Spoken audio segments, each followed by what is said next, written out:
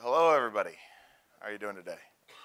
Um, so, what I want to talk about today is a framework for reasoning about a rather large class of problems that I've had come up in my work over the last several years.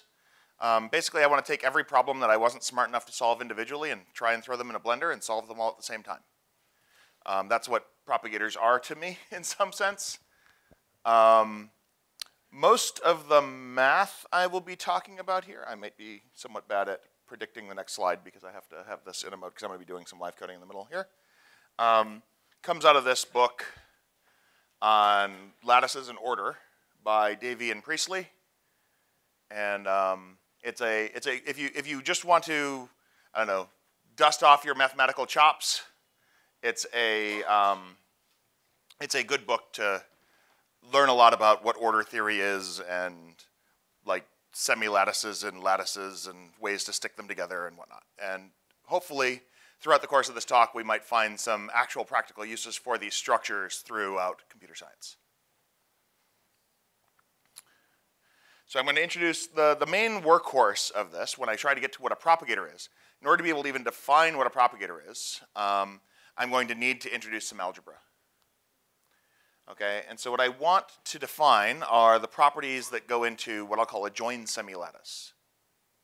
And so a, joined semilattice is commutative. We use this funny little you know, or-like V to refer to join. It's associative, it's idempotent, and it's unital. So we have, um, if you know what a monoid is, that covers the associative and the unital bits. The idempotent means it works like max or min, right? And the commutative, well, max and min are both commutative as well. And so those turn out to actually be semilattices if you have a, a joined semilattice if you have the bottom. So if I ever use the word lattice throughout this talk, um, just assume that I actually said joined semilattice, and I'm just being sloppy, okay? Um, there are some uses for like having an, a meet structure as well as a join structure, but they go beyond the scope of what I want to talk about today. So um, given a semilattice, we can construct an order. Is basically, is there an element that I could join with A to get to B? Like, and so this sort of implies, like, I'm, I'm going to draw the things that are, like, the result of joining two elements are going to be drawn higher up in the diagram. And um, there's a notation, uh, like a a diagrammatic form that mathematicians tend to use when they're talking about these semilattices, which I'll call a Hasse diagram. And a Hasse diagram is basically just drawing all of the things that have an immediate, like this is less, like 0, 0, 0 in this case is less than or equal to 1, 0, 0. Um, but there's nothing in between. And so what this little funny dot thing here is saying is this is less than this, and there's no nothing you could join to get to in the middle. So those are the edges we draw. I don't draw an edge from 0, 0, 0 to 1, 1, 0, because it's implied by transitivity. Okay, so this is just some notation, some preamble stuff so that we can actually talk about things in the same terms. Um, and examples of these kind of joint semilattices, I can draw like a power set, um, where as I'm basically unioning to go up towards the top, my unit here is that I start at the bottom. I could also do, if we flip this entire diagram over, I would have a completely different joint semilattice where I start with the universe of all the things and I do intersections to collapse down to smaller, to smaller and smaller subsets. So each of these is an example of a joint semilattice. Um, I can, I, this is an example that I took from an old textbook. It's perhaps a little bit dated with modern gender norms, uh, um, but it's a, another kind of standard example. So what is a propagator? Um, the idea of propagators goes back to this paper, or this, this tech report by Alexey Radul and Jerry Sussman. The ideas actually go back into the 70s. This tech report's probably like six years old or something like that. Um, it went into Alexey Radul's PhD thesis, and it's a it's a wonderful read. Actually, this this book doesn't take like this this tech report doesn't take a lot of math to understand, mainly because there's not a lot of math and rigor behind it. It's a hey look, it, it's this it's a sort of great like enthusiasm building. Everything here is a propagator. Yay, let's go. Um, like there's this sort of way to push information around. And now that I've established what joined semilattices is, I, are, I can I can say what I consider a propagator to be. Okay, because it's not in the in that thesis. Um, what I consider a propagator to be is a monotone function between joined semilattices. So I have to introduce what monotonicity is. But the joined semilattices are the workhorse. They're what I use to hold information. So monotonicity is just the property that if A is less than or equal to B, then f of A is less than or equal to f of B, right? This will be isotonic, whatever, if you want to be more inattentive about monotonicity implying a direction. Um, so monotone functions between joined semilattices and a propagator network will be a graph where I have propagators as my edges pushing information around and joined semilattices as my node. And the execution strategy is something like this. Whenever I gain information, whenever I whenever my joined semilattice like whenever I move upwards in my joined semilattice, whenever I join and I'm not at the element that I was previously at, what I'm going to do is make sure that all of the outbound propagators from that joined semilattice will eventually fire and push the information that they have to the target joined semilattices.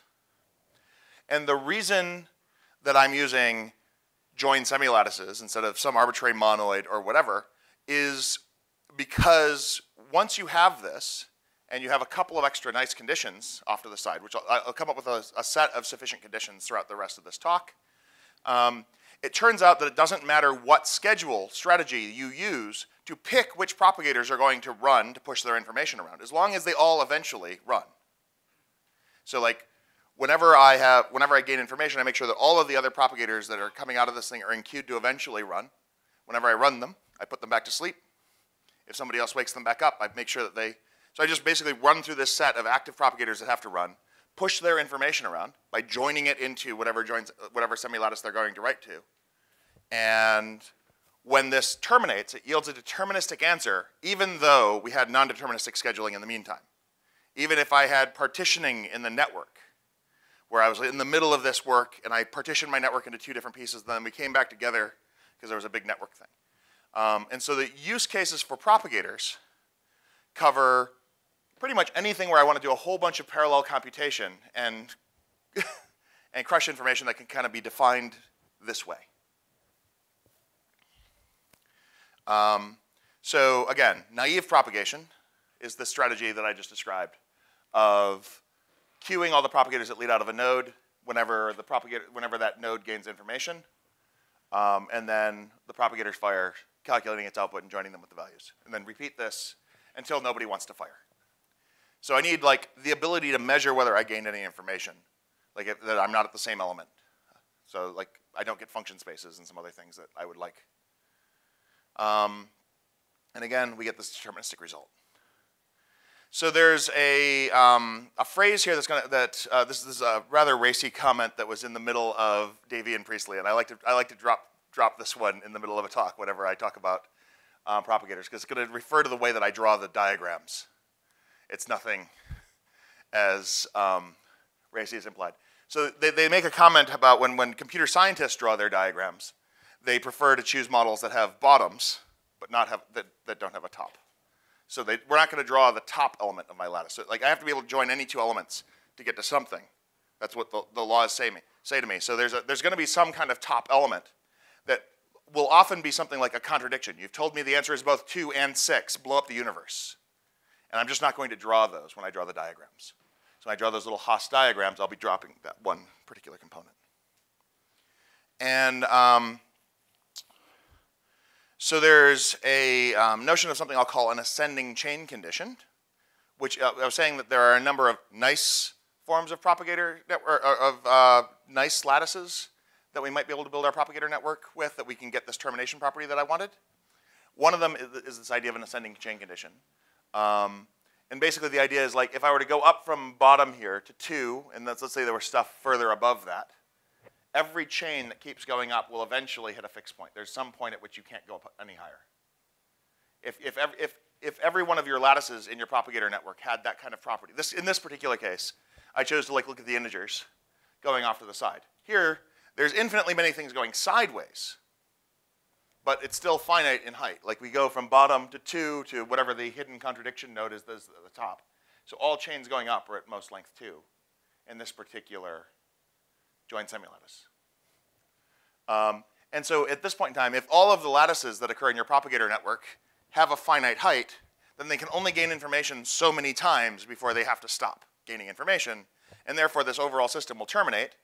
Idempotent says I don't care if you run the propagators twice. Commutativity says I don't care about the order in which I ran them. And each one of these things kind of, like each one of those laws piecemeal contributes to the fact that I don't actually care about the order in which you scheduled the events, the, the propagation. Um, again, deterministic results. Um, and so there's a, um, Lindsey Kuper did her PhD thesis on this other system she had called LVars. She built a little language called LVish in Haskell. Um, L nominally says, stands for lattice variable. Um, however, I, I, just had a, I, I just got a dig in her the other day on Twitter about the fact that really only the first half of her thesis talks about lattices. So I refer to these as Lindsey vars um, because she uses them even when they're not lattices. And the idea when you're working with LVish is that you have a monad, we're in Haskell terms, so I apologize to the non-Haskellers in the audience, but you have this, this universe of computations in which you're allowed to um, fork, like you can fork threads. You're allowed to write to these lattice variables, which will do a join against the lattice variable, and then she has a funny form of read. Okay, and then it turns out that um, all of the programs that you can run in this LVish vocabulary will terminate and yield deterministic answers, which sounds a lot like the propagator vocabulary. And these LVish, these LVars, are joined semilattices, which sounds a lot like the cells in my propagator network. So I can take LVish, and it turns out that every function that I can define in LVish is a monotone function. Not every monotone function can be defined in LVish but it's a good vocabulary for writing a large class of different propagators. So I rather, I rather like her PhD thesis um, as a like common lingua franca for just like spewing out code that is like obviously correct. Um, the funny kinds of reads, I want to introduce the idea of what I'll, uh, what I'll call a promise or an IVar. So a promise would be something like it's going to be one of these joined semilattices which has like height two, like the one I drew earlier when I had the natural numbers going to the side, because here I've got the natural numbers going off to the side. Um, I have, I don't know what the answer is. You've told me the answer is exactly blah, or you've told me the answer is both blah and something else, and therefore there's a contradiction. So a traditional computer science promise can only be fulfilled one time. You have a, like a, a, a variable that's going to be filled in by some other thread that's doing some work in the background and it'll eventually write into the promise the answer. But if you try and fulfill the promise twice, even if you wrote the same answer in, it would blow up the universe.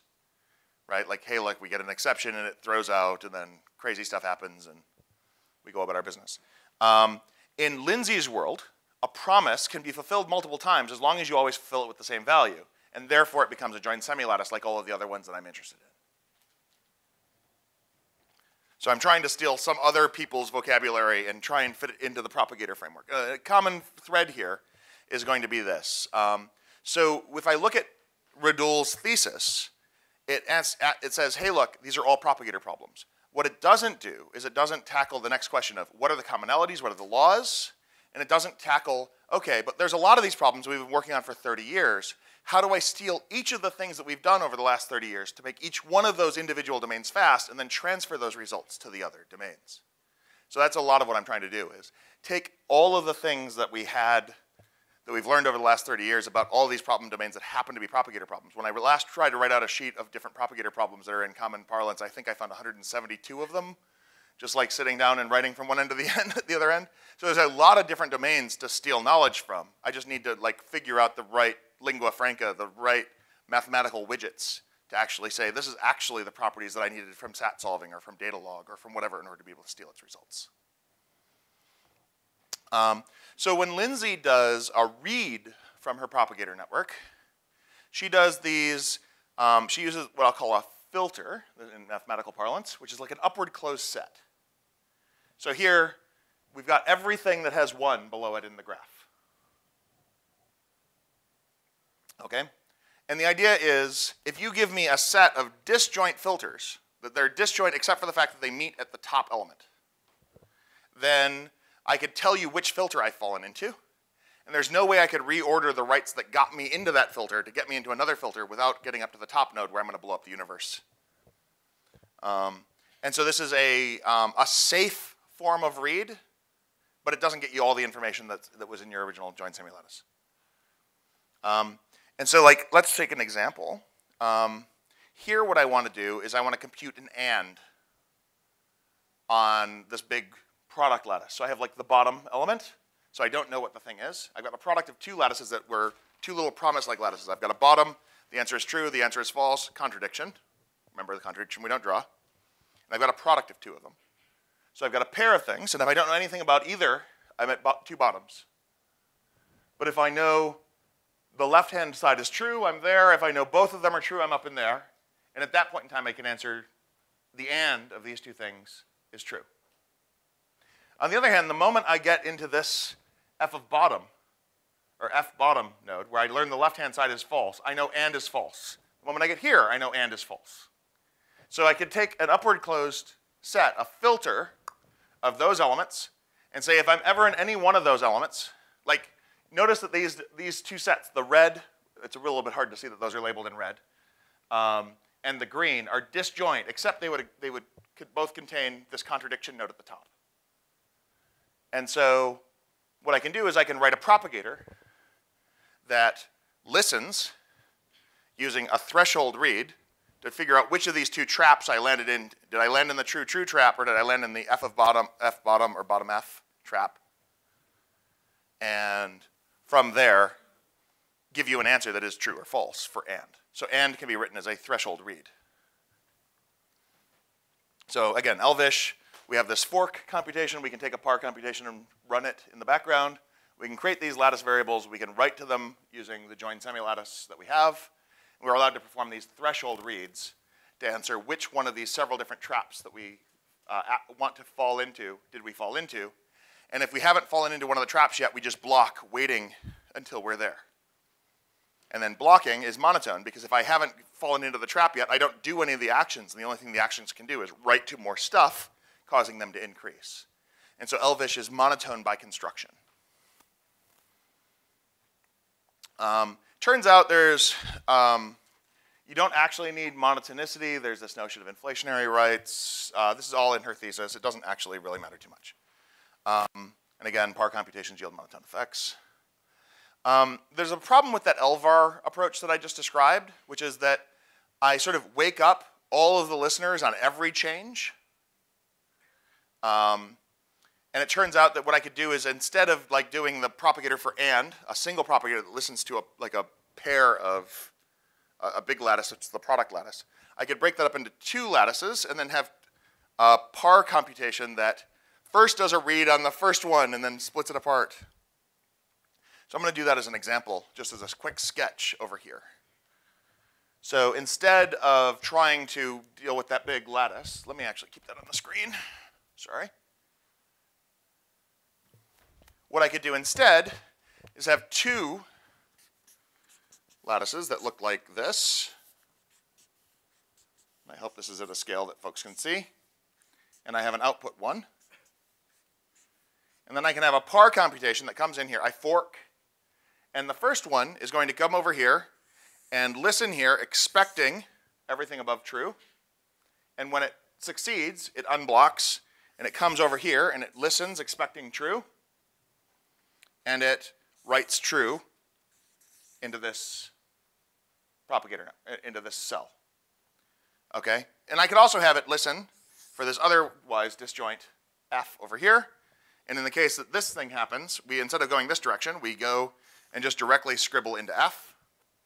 So my first thread went off and watched the left-hand variable. My second thread just comes over here and listens for F. It doesn't listen for true.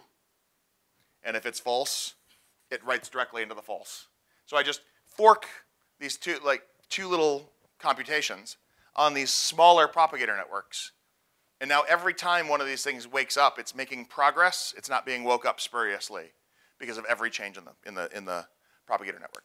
An example of this kind of thing would be something like if I had a set that had a bunch of names, one, a monotone function is, is Bob in the set? But I don't want to wake every time you write to the set. I want to wake up only when you kind of touch things around Bob. I want to minimize the amount of waking up that I do. Because if the propagator has to wake up, look, nope, still not Bob, um, it's going to spend a lot of time doing spurious work.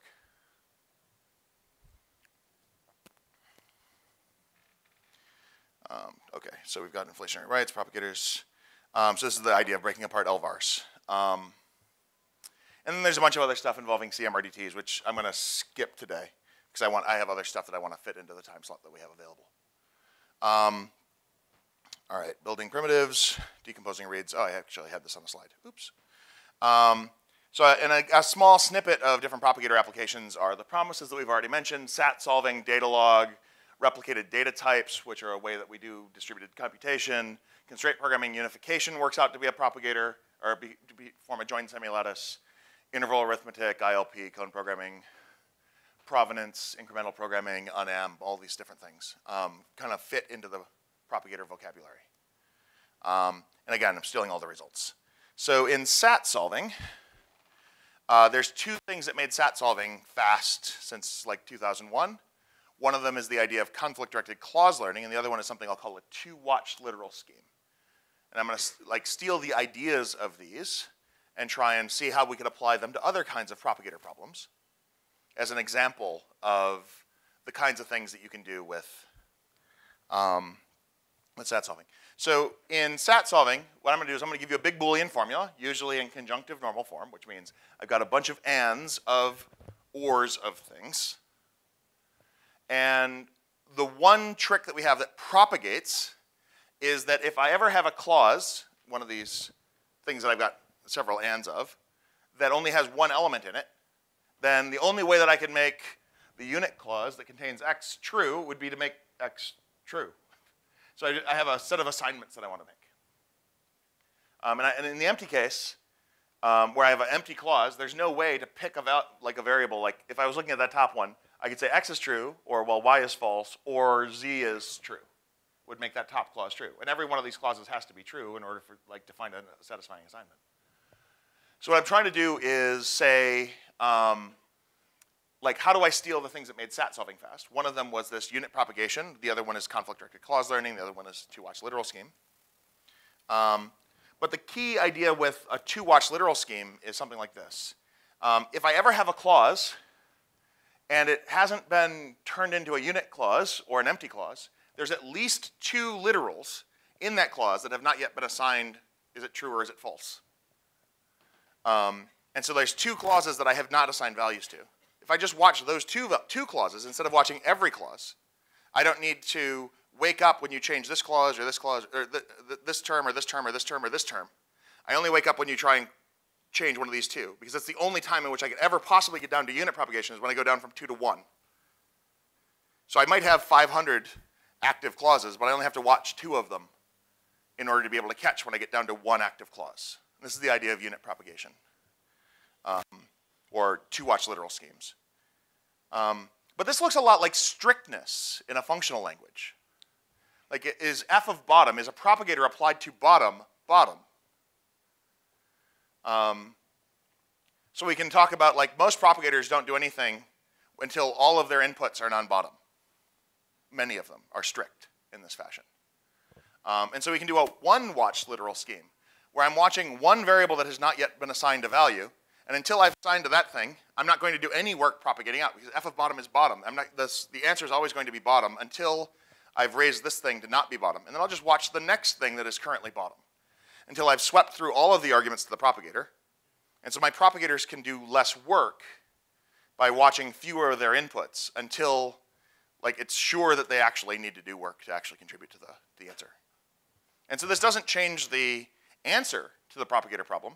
All it does is let me work more efficiently. I wake up the propagators less, just like when I was trying to decompose the problem over there. Um, and the other thing that I can do is that if all of my elements of, if, if, if every one of the lattice, the input lattices, join semi, joint semi lattices to my propagator network are just before the top element, right? They're, they're covered by top. We've got that funny little symbol here saying there would be an edge from them to top if we drew it, because we're not going to draw it because we're computer scientists. Um, then there's no way that this propagator could ever fire because any attempt to increase the amount of information in this input joint semilattice would blow up the universe before we actually tried to propagate. Like the top is basically always a contradiction node. And we just sort of propagate from the tops of one joint semilattice to everybody else saying, hey, look, blow up the universe. We've, we've found a contradictory state. So this is a way to garbage collect the propagator network because if all of your inputs are maxed out, I could throw away the propagators because it will never fire. Um, other examples of propagator problems, and then I think I'm going to derail off of these slides um, and try and do something that I think is somewhat more important than the, like, here's a gross pile of examples, um, is like, let's say I have like finite domains. X is between one and five, and Y is between one and five. We could model those as sets, and then I can use like the relationship that X is less than or equal to Y to immediately learn that X cannot, or less, let's say X is less than Y, rather than less than or equal to here that x could not possibly be 5, and y could not possibly be 1 if that was a less than. Um, and then if I ever learn more about x, if I ever narrow that set, I can use that to push information into x and y. Um, and so the idea is you use this to minimize the space of guesses you have to make. So um, when I first wrote these slides, I was using um, a, a, much crazier mechanism in order to deal with non-determinism in the presence of a propagator network. Now I actually just bolt non-determinism, and I use non-determinism and propagators together. So the work on Guanxi is a non-deterministic propagator framework. Um, and there's this uh, classic algorithm, this goes back to the 70s, called arc consistency 3. I do not expect folks to be able to read the slide, but if you squint at this hard enough, you can actually see a propagator network under the hood. That's the thing that's establishing like if I have these relationships pairwise between a bunch of variables, that each one of those individual pairwise relationships has been established as like we've trimmed as things as much as possible, but we haven't finished the job. And then the, the like the assignment to things is the thing that actually has to finish the job. So now I think this is a good launching off point to the other topic that I wanted to go through, which is how do I reduce the pressure on my propagator network even further? Um, and so I mentioned this briefly during the talk the other day, but I need to like introduce more algebra. We introduced joint semilattices at the start of this. I need to get to the concept of a group action and look at some data structures that can actually model group actions in Haskell. Um, I, is, this, is this visible for folks? The top corner is a bit off the top. Okay. Um, Okay, uh, join.hs. I'll just try and make sure that I, I don't use the top line or two. Oh no, I'm off the side too. Oh no.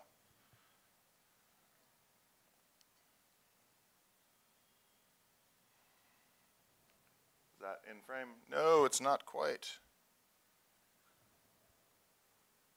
Come on. You have one damn job.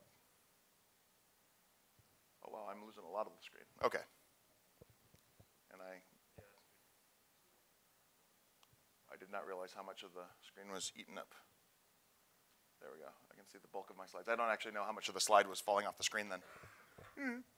I apologize if I was referencing things on the slide that you couldn't see. Um, all right. Um, so what is a, uh, how many people here are comfortable with the idea of a monoid? How many people are comfortable with the idea of a group? Okay. So a group is a monoid with inverses. So we have monoid in Haskell. I'll, I'll, call, uh, I'll move this to like a group G, so monoid G to group G, such that I have an inverse, which goes from G to G.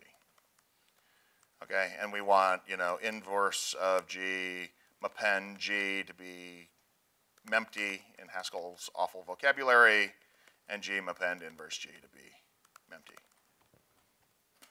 Okay, that's all a group is. If um, if it won't be on the test. the notion of a group action is a bit harder. Um, I mentioned it briefly the other day.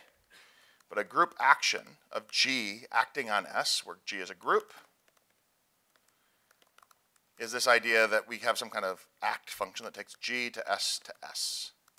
And what we want is this property that act of mempty should be the identity function on s's, and act of m append n is act of m composed with act of n. This is what a group action means, is that you can turn append into dot and mempty into id. S is an arbitrary set, like an arbitrary Haskell type. So example, my group might be, I'm gonna, for sake of this discussion, just to keep things fast, I'm gonna try and like lock G down some data type delta, um, just so I can actually make slightly, make use of existing code to fly through this example a little bit faster. So relative is going to take some data type. Let's define delta here to be a group that's going to be like delta with the integers in it. I'm deriving num show eq. And what can I do with this? I can say instance semigroup delta where this is plus an instance monoid delta I'm just going to lock down to the integers with addition just for the sake of discussion so that we can actually move on with our day, um, where mempty is 0. Okay? And then the inverse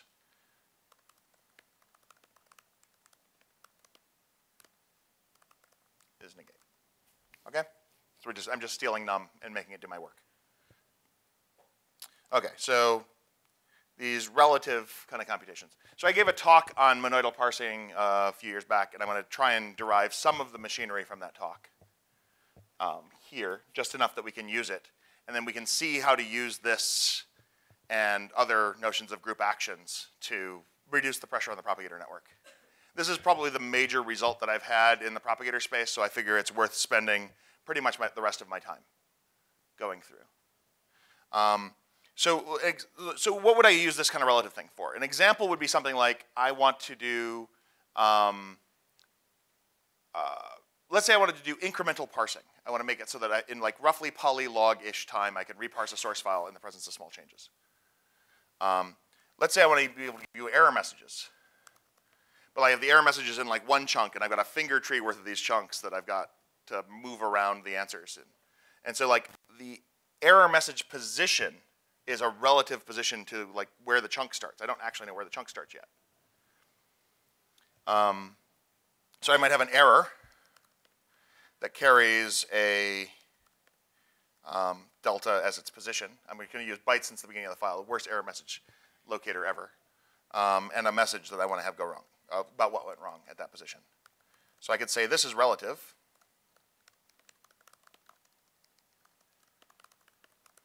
So relocation by delta of an error at delta prime s is just an error at delta delta prime s. We're just adding the positions up. So if you wanted to shift me by some amount, you can shift an error message. That's what rel is here as an example. Maybe these are my token types or my syntax trees or something like that. Um, the problem is, is I would like to have something like this instance. Instance relative A gives me relative list of A. So I can give you a list of errors. I don't think this is a big ask. And I could do this, at, like this is fmap.rel or something like that. But it's, this is on to apply. So I want to apply a crap load of computer science to try and get this down to O1. Okay? And I want to be, get the appends of these lists down. So because I glue together the list of errors that I get from different portions of my, my source file, I'm going to get a bigger and bigger list of errors. But appending two lists is, li is linear in the cost of the left-hand list in terms of its, its cost. So I can't even afford to append lists of errors if I'm trying to aim for polylog-ish reparsing time. Um, so one key observation here is that I can change the data type for lists. I can just write down a list of A is nil or cons of A onto a list of A. We're going to take Tony's approach of defining everything from scratch. Okay? And I want a instance of relative for list of A that does, that does like O1 work. In order to do O1 work, I can't do anything recursive. Thank you. Um, so what I'm going to do is I'm going to bake the delta directly into the cons cell here. I'm not going to push it down. I'm going to make it so that the act of unconsing will relocate the elements, where I already have to do work. So to relocate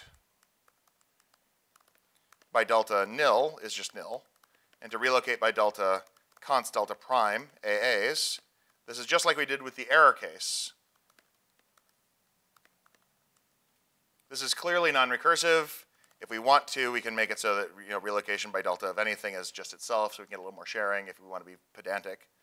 But this relative is clearly a 1. Cons is going to take an A and a list of A and give me a list of A. Cons will be big conses with like the empty delta. And then uncons, we want to take a list to maybe an A and a list of A. This is the kind of like what we could do with a list today. Let's just think of this as sort of the API of a list if we didn't have awful head, tail nonsense lying around. But I'm going to need to know a little bit more about A, that it's relative. So unconsing from nil is nothing. Ah.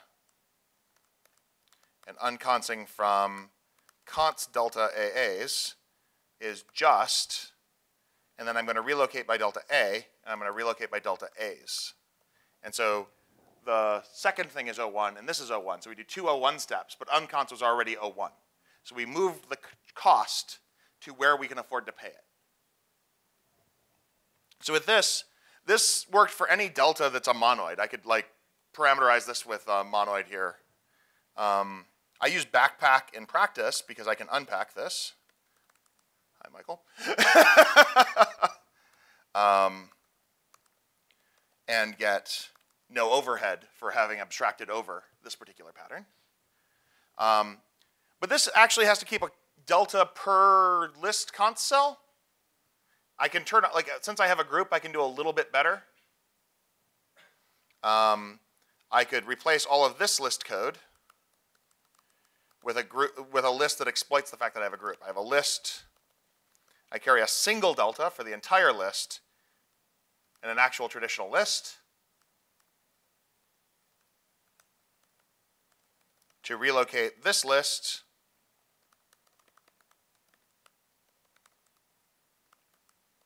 we just do the error trick. this is error basically, right? Like, we have a string here, which is a list of chars. Um, and cons doesn't change, really. Cons, uh, well, cons does change, or uncons doesn't change much. It still needs this relative constraint. But now we have to like deal with like list D something and list D a cons A's is just, and this is a, now a list DA's, whatever. But cons picks up a relative constraint. Because we can see that when we take the A and the list of A's and try and build a new list of A's. So to cons an A onto a list that will be relocated by delta before you see it of A's, I can't just do list D A cons A's because this A would be shifted by delta when you go to uncons and look at it. But I have inverses, so I can relocate by the inverse of delta, A, as I go to insert it into the list. So if I'm going to be shoved 50 characters to the left, I should shove myself 50 characters to the right so that I stay exactly where I want to be. Right? That's the idea of using the group structure to kind of hack my ability to get down to one list or one delta here. So why am I spending all this time on lists, right? This is, this is um, so it turns out like if I wanted to get this list down, this got me O1 relocation for lists, but it didn't get me down to O1 append for lists, which is the other thing that I need. But Chris Okasaki wrote a book on purely functional data structures, um, which has a, it's written in Haskell, and like the original one is like a dialect of ML. But there, there's a Haskell appendix at the end of it anyways. And in it, he includes a number of data structures for like building cat, building queues that have O1 access to the, like you can snoc in O1, but you can uncons in O1. Um, and then on top of the queues, he goes and builds catenable lists that are O1. So if I just redo all the work in Okasaki using this rel, like this, like shoving deltas in the appropriate places, just like we did with the original list, I can get O1 catenable lists that I can pull off of that I can relocate in O1. Okay? so like everything I want to do with this list is O1, except for like indexing into it. But I don't need to random access into the list. Okay, so I can finally say why I care about this for propagators. um, so union find is a fairly, like this, this algorithm that Tarjan, uh, like there, there was some work on it before Tarjan, but Tarjan like locked it down and like showed this absurd asymptotic complexity bound that you can do it in like n alpha n, where alpha is like the inverse of the Ackermann function. So it's this function that grows super duper slow. It's like four for anything that you're going to be able to build in the real world. Um, so when you do union find, um, let's see if I can go into Guanxi and pull up some actual code that does this. Source, um, here's like an equality domain. What you typically have is you have some kind of node that links to its parent, and then at the root we get to know the rank of like how many things are below you. And you could pretend this is size, but it's a, it grows a little bit slower. Um, and so basically we're the child of some other term or we're at the root and we know our size. And this particular thing does some other stuff other than just union find.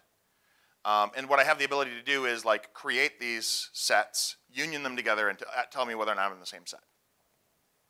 So what I want to be able to do is say like x equals y. When we had the earlier constraint of like x is less than or equal to y, I would like to be able to say x and y are the same thing. I don't want to just propagate all the values from x to the, to the values of y. I just want to say they're somehow different views of the same thing. But I have propagators that were listening to x and propagators that were listening to y. And so when I merge them together, I wind up with a set of propagators listening to whichever one has this slightly different view, this like this group that's acting on x or y before you see it. And so I need to be able to relocate using my group, this works for any groups, the structure that we described earlier, in O1 time, a whole swath of propagators that were listening to the wrong thing like x is y plus 4. We were listening to x, but now I said, well, actually, I linked x to B, Y, but now I have to like shift all these propagators so that they're listening and see the right values. Um, and this has really been the workhorse for me for making propagators viable. Um, like if I if I use these um, these various like group-like actions that are trying to trim down the size of the propagator network, there's a lot of places where this sa saves me work linear in the number of cases that x can take on. And that rather matters to me when there can be an infinite number of cases. Okay, so this is really the, the core trick that I wanted to try and bowl through in this talk that like I have not previously, I've given, uh, I think there was a brief overview of this at Monadic Warsaw, but other than that I haven't had a chance to really talk, talk about this, this core trick publicly as a, um, as a thing. So I realize I'm basically out of time now. I've got about a minute and a half for questions, I think. Any any questions? Anyone dares to ask a question?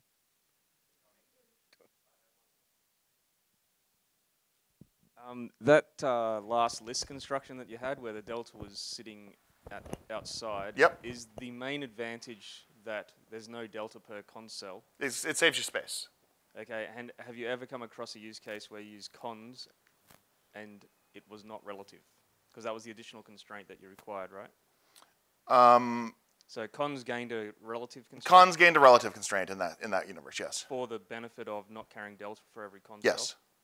Um, you, you, basically, you'll never use that data structure in a non-relative setting. It's just right. that you got to save a little bit of work in the other. Okay. The, the, main, the main use case for the original construction is it works even if you just have a monoid. Uh, like I didn't need the group need for the first thing. Right. I, needed the, I needed the group for the second one.